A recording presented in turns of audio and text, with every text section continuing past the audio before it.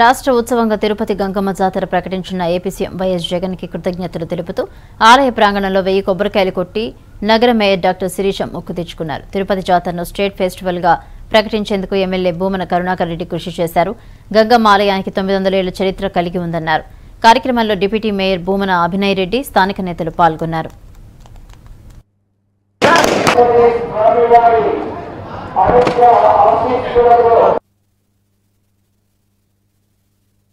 ఇంత పురాతనమైనటువంటి సాంప్రదాయంగా చెప్పబడుతూ తిరుపతిలో వైభవోపేతంగా ప్రతి ఏడు జరిగేటటువంటి గంగ జాతరను రాష్ట్ర పండుగగా ప్రకటిస్తూ ప్రభుత్వం జీవో తీసుకురావడం తిరుపతిలో ఉన్నటువంటి ప్రతి ఒక్కళ్ళకు ఎంతో గర్వకారణమైనటువంటి విషయం.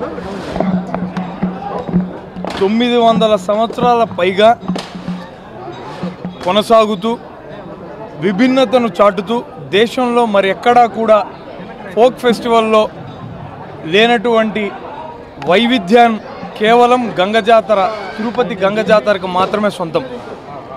మన చెల్లిగా తిరుపతి ప్రజల ఆశీస్సులు తిరుపతి ప్రజలకు ఆశీస్సులు అందిస్తూ దాదాపు వెయ్యేండ్ల చరిత్ర కలిగినటువంటి మన గంగమ్మ ఆలయం అలాగే జాతర వై జాతర విశిష్టతను దాదాపుగా మనం గత రెండు సంవత్సరాలుగా చూస్తున్నాం.